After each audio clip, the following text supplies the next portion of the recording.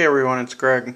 Um, I've been having trouble with the native email client when you're trying to um,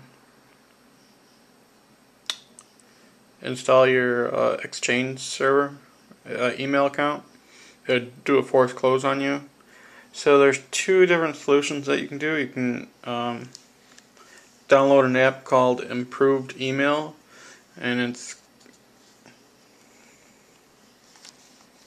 and it's going to be like uh, hopefully you can see this but it'll be like um, that blue email um, thing right here.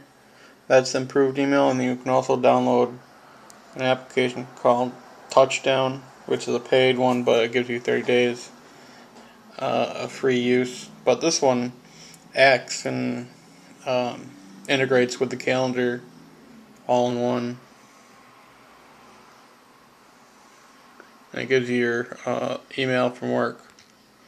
Uh, this is, if you like the native email client, improved email is the way to go.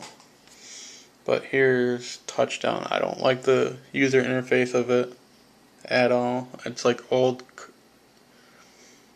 very, you know, archaic. I just don't like that. And it integrates with your calendars.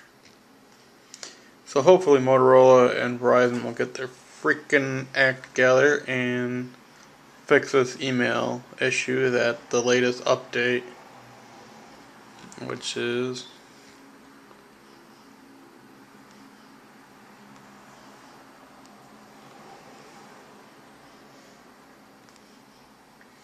FRG222D. That's again FRG22D build number. Freaking sucks. I also got a new case too. And a new battery. There's the new battery. And uh, a charger. Hopefully you can see that. But just two solutions for your email troubles.